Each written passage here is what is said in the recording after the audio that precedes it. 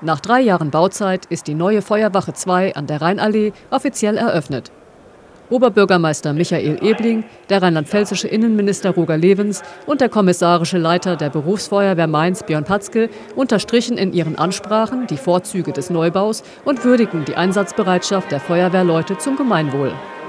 Das neue Grundstück ist mit 6000 Quadratmeter zwar kleiner als die alte Wache am Barbarossa-Ring, überzeugt aber durch Funktionalität.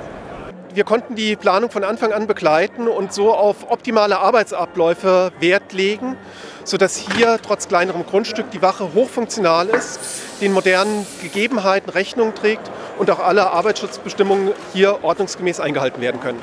Es ist zum Beispiel daran gedacht, so nach dem Motto, nach dem Einsatz, vor dem Einsatz, wie sind die Abläufe, wenn Fahrzeuge zurückkommen. Wir haben jetzt hier in dieser Wache zum Beispiel extra eine Bestückungshalle, in der Einsatzfahrzeuge nach dem Einsatz das dreckige Material abladen können in einem extra Bereich und direkt nebendran aus dem Einsatzmittellager sich mit neuen Gerätschaften versorgen können, sodass wir sofort wieder einsatzbereit sind.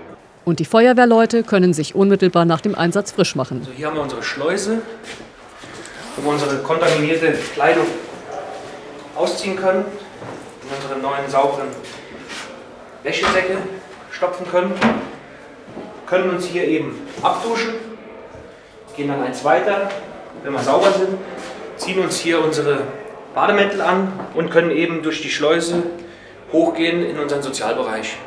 Die Schicht eines Feuerwehrmanns oder einer Feuerwehrfrau dauert 24 Stunden. Deshalb bietet die neue Wache auch Ruheräume, persönliche Spinde und eine Profiküche. Daneben gibt es natürlich eine Vielzahl an Räumen, die zur Gewährleistung der Einsatzbereitschaft notwendig sind, wie Wasch- und Trockenraum, Lager- und Werkstatt und der Trockenturm für die Schläuche.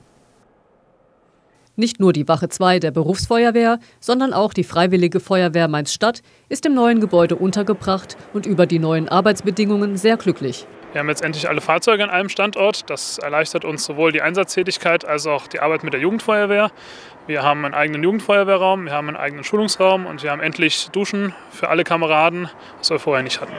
112 rote Luftballons machten die Eröffnung der neuen Feuerwache weithin sichtbar.